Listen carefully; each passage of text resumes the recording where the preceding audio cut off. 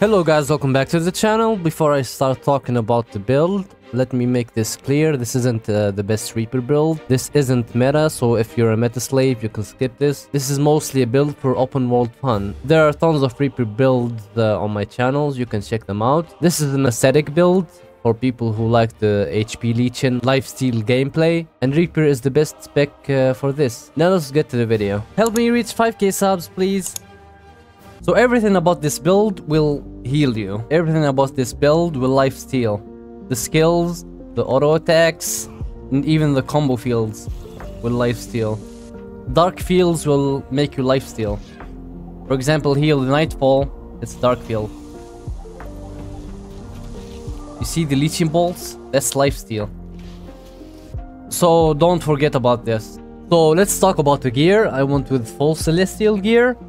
Uh, for people that doesn't know this, for celestial gear means this type of gear that everything is equal, kind of like a balanced thing in every build. Mostly people run this type of gear in open world or world versus world because it's really strong there. You have um, every stat in the game in one gear. Anyway, I went with the full celestial gear with the rune of the eagle. Uh, I went with rune of the eagle because it have uh, the most uh, precision stat and that raise my critical chance because uh, here you can see uh, relic of Zakiros is um, is gonna convert our critical strike damage into healing and I want to proc it uh, more often and this is gonna be 70% with the Fury buff, so it's a decent amount. It's not 100%, but it's gonna proc our critical strikes uh, a lot. As for weapons, I run um, Greatsword with Sigil of Blood, heal a foe's health upon landing a critical hit, and Sigil of Restoration. Gain health when interrupting a foe. Uh, these are two of the three life leech sigils we have in the game. I didn't run the third because it's weaker than these two. Uh, then uh, we have the dagger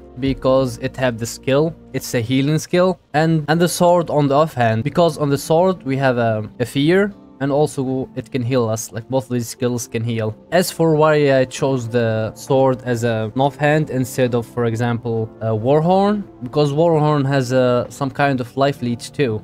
And that fear is gonna activate our fury buff from uh, this uh, trait and also gonna give us quickness. And we need the fury buff because uh, that's the only way to activate the relic of Zakiros.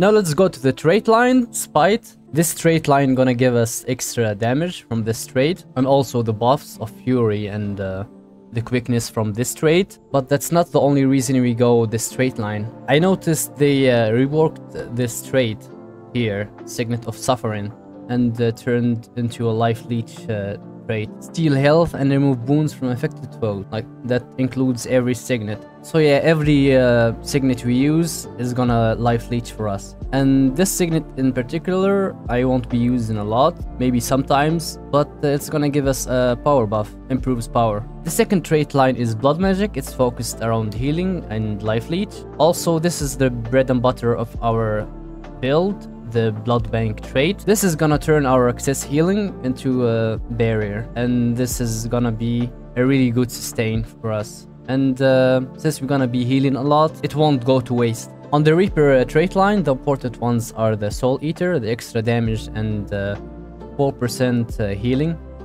That means life steal. It's the same uh, effect as the Relic of Zakiros. And the Reaper's Onslaught, gonna give us weakness and ferocity uh, permanently when we are in Shroud. So that's our build. I want to give an extra tip. If you're using the daggers, remember to use the third skill and bleed yourself before you use the healing skill, the second one. Because if you're like, you have bleeding on you, it's gonna heal more. So playing this build is pretty straightforward. You won't have any problem with the open world mobs, no matter how much they are. You can see how much uh, barrier we're getting just from auto attacks.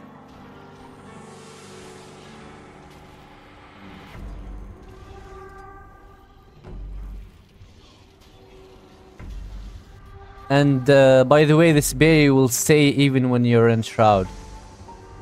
So that's a really big plus.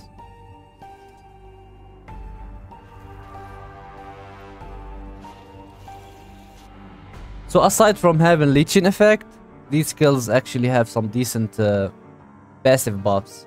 Reduce incoming condition damage, movement speed increase, and the other one is uh, the power buff. I just prefer using uh, Spectral Grasp to pull mobs that are far away. Now let's try the build with tougher mobs.